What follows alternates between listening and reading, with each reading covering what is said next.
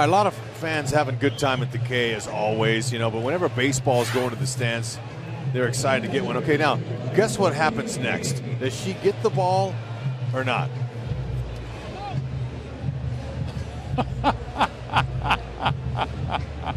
she was That was great. That kid came out of nowhere. He just snatched it from her.